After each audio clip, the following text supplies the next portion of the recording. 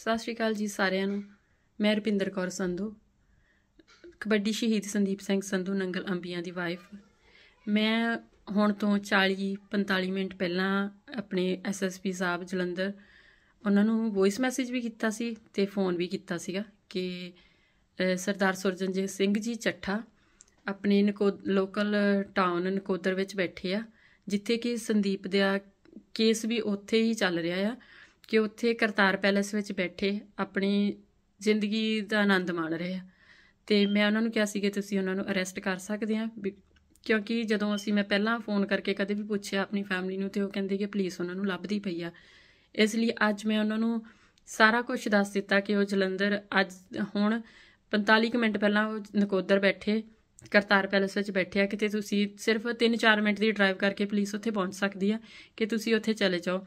ਪਰ ਮੈਨੂੰ ਮੁਰੇ ਜਵਾਬ ਮਿਲਿਆ ਆ ਕਿ ਸਾਨੂੰ ਐਵੀਡੈਂਸ ਚਾਹੀਦੇ ਆ। ਐਵੀਡੈਂਸ ਦੇਖਣਾ ਪੁਲਿਸ ਦਾ ਕੰਮ ਨਹੀਂ ਹੁੰਦਾ। ਐਵੀਡੈਂਸ ਕੋਰਟ ਨੇ ਦੇਖਣੀ ਆ। ਤੇ ਜੇ ਐਵੀਡੈਂਸ ਤੁਸੀਂ ਲੱਭੇ ਆਪਾਂ, ਤੇ ਤਾਂ ਹੀ ਤੇ ਪੁਲਿਸ ਨੇ ਨਾਮਜ਼ਦ ਕੀਤਾ ਸੀ। ਜੇ ਤੁਸੀਂ ਉਹਨਾਂ ਨੂੰ ਨਾਮਜ਼ਦ ਕੀਤਾ ਸੀ, ਤੇ ਤੁਸੀਂ ਮਤਲਬ ਸਿਰਫ ਇੱਕ ਵਾਹੋਬਾਈ ਖੱਟਣ ਨੂੰ ਨਾਮਜ਼ਦ ਕਰ ਦਿੱਤਾ ਸੀ। ਉਹਨਾਂ ਨੂੰ ਕਿ ਨਾ ਵਾਹੋਬਾਈ ਖੱਟ ਲਓ, ਨਾਮਜ਼ਦ ਕਰ ਦਿਓ ਤੇ ਦੈਟਸ ਇਟ ਕੇਸ ਕਲੀਅਰ ਪਰ ਨਹੀਂ, ਤੁਸੀਂ ਆਪਣਾ ਕੰਮ ਕਰੋ, ਜਾਓ।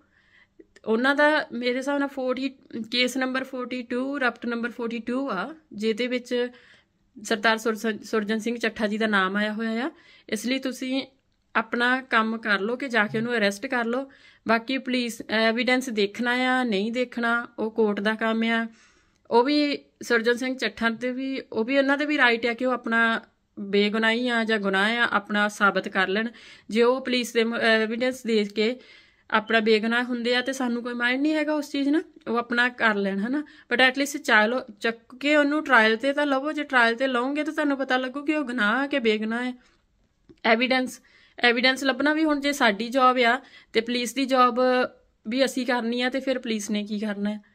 ਮੈਂ ਸਿਰਫ ਰਿਕਵੈਸਟ ਕਰ ਰਹੀ ਕਿ ਇਸ ਟਾਈਮ ਵੀ ਜੇ ਕੋਈ ਮੀਡੀਆ ਕੋਈ ਵੀ ਚੈਨਲ ਨਿਊਜ਼ ਵਾਲਾ ਵੀ ਕੋਈ ਵੀ ਫ੍ਰੀ ਬੈਠਾ ਆ ਪਲੀਜ਼ ਕਰਤਾਰ ਪੈਲੇਸ ਵਿੱਚ ਜਾ ਕੇ ਹੁਣ ਤੁਸੀਂ ਚੈੱਕ ਕਰ ਸਕਦੇ ਕਿ ਚੱਠਾ ਸਰਦਾਰ ਸੁਰਜਨ ਸਿੰਘ ਜੀ ਚੱਠਾ ਅਜੇ ਵੀ ਉੱਥੇ ਬੈਠੇ ਆ। ਜੇ ਕਿਸੇ ਕੋ ਹੈ ਇੰਨਾ ਕੁ ਟਾਈਮ ਤੇ ਪਲੀਜ਼ ਕਰਤਾਰ ਪੈਲੇਸ ਪਹੁੰਚੋ ਤੇ ਜਾ ਕੇ ਉੱਥੇ ਦੇਖ ਲਓ ਕਿ ਵੱਡੇ ਵੱਡੇ ਕ੍ਰਿਮੀਨਲ ਐਦਾਂ ਹੀ ਤੁਰੇ ਫਿਰਦੇ ਆ ਪੰਜਾਬ ਦੇ ਵਿੱਚ ਤੇ ਜਿੱਥੇ ਕਿ ਪੁਲਿਸ ਨੂੰ ਕੋਈ ਮਾਈਂਡ ਨਹੀਂ ਹੈਗਾ ਕਿ ਪੁਲਿਸ ਨੇ ਕੁਝ ਕਰਨਾ ਹੈ ਜਾਂ ਨਹੀਂ ਕਰਨਾ। ਸਤਿ ਸ਼੍ਰੀ ਅਕਾਲ ਜੀ ਸਾਰਿਆਂ ਨੂੰ।